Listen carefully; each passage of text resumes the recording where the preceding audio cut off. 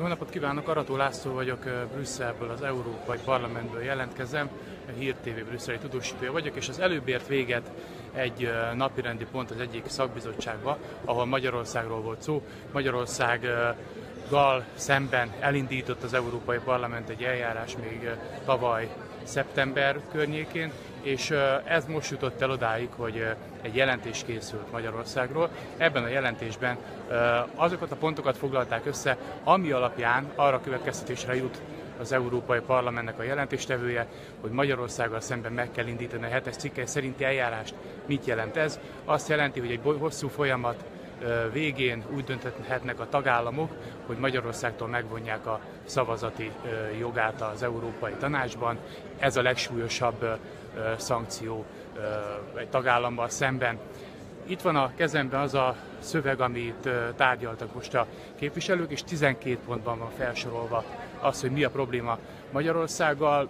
Kis túlzással mondhatom, hogy minden alkotmányos rendszer működése, igazságszolgáltatás függetlensége, a korrupció, adatvédelmi problémák, a szólásszabadság, az akadémiai szabadság, a vallásszabadság, az egyesülési szabadság, a egyenlő bánásmóddal kapcsolatos jogok, a kisebbségek jogainak a csorbítása, ide itt kiemelték a romákat és a zsidókat, és a migránsok, menedékkérők, menekültek jogainak a sérelme, valamint a szociális jogoknak a megnyírbálása. Ezek azok a témák, amik alapján a képviselők tartottak egy közel egy órás vitát, meglehetősen kemény dolgok hangoztak el. A legkeményebb talán az volt, hogy azt mondta Sophie Intveld, a liberálisok szónoka, hogy szerinte, ha most jelentkezne Magyarország az Európai Unióba, akkor nem vennék fel mivel hogy azokat a feltételeket nem teljesíti, amelyek elő vannak írva egy tagjelölt állam számára.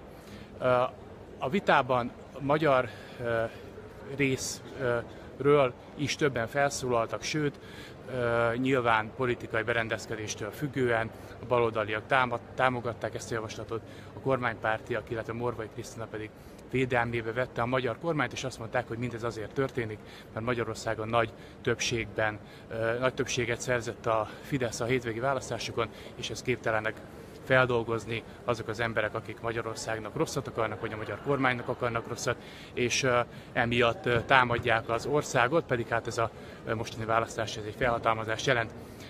A frakciók közül, a nagy frakciók közül mindegyik egyetértett a jelentéssel, még a néppárti, tehát a Fidesz frakció családjába tartozó képviselők az egyik az nem védte meg, a másik meg nagyon keményen támadta a magyar kormányt.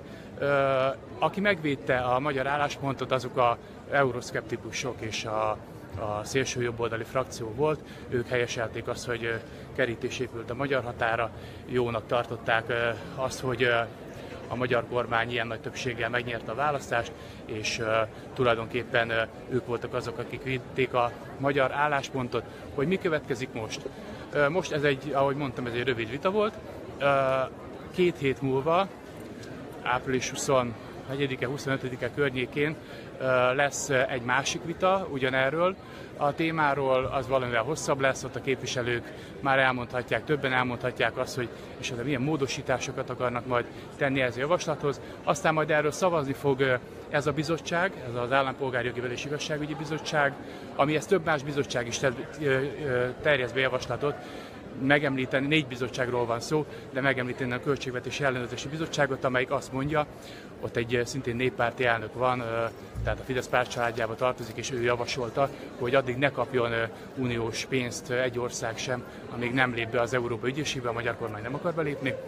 Szóval júniusban szavaznak majd a, erről a javaslatról a képviselők, és aztán szeptemberben az Európai Parlament plenáris ülése elé kerül, ahol többséggel kell dönteni arról, hogy tovább vigyék-e az eljárást, ez azt jelenti a tovább vitel, hogy a tanács elé, az a tagállamokból álló tanács elé kell kerüljön az ügy, hiszen ilyen kérdésben végső döntés csak a tanács hozhat egyhangú határozat keretében. Ez az a, ez az a fórum, ahol a lengyelek megígérték már, hogyha Magyarország oda kerül, akkor a lengyelek biztos, hogy Magyarország pártjánra fognak állni, és nem fogják azt engedni, hogy szankció érje Magyarországot, ez tulajdonképpen egy vétó. Ott ezen a fórumon elég is lesz, de hát ez nagyon messze van, tehát addig még nagyon sok minden fog történni. Amennyiben a parlament így szavaz, de hát ez attól is függ, hogy a néppárti képviselők hogy fognak szavazni. Valószínűleg tartom, hogy a néppárton belül ez nagyon komoly vitákat fog még okozni. Már most nagyon komoly viták vannak, tenne a frakcióülés volt a néppárban, elhangzott többször az, hogy ki kellene zárni a Fideszt, mert nincs helye az Európai Néppártnak. Azoknak, akik ilyen gyűlöletkeltő kampányt folytattak, ezt mondták svédek, mondták lengyelek, úgyhogy ott ugye érdekes a helyzet, mert a nem a lengyel kormánypárt van a néppártban, hanem a lengyel mostani kormánypártnak az ellenzéke, tehát ez is egy bonyolítja a helyzetet. A lényeg a lényeg, hogy ezen a mai vitán annyival lettünk talán okosabbak, hogy kimondták, hogy Magyarországgal szemben a hetes szerinti eljárás megindítását javasolják, hogy mi lesz aztán ennek a sorsa, azt majd meglátjuk, mi minden esetre természetesen nyomon követjük majd az eseményeket, viszlát.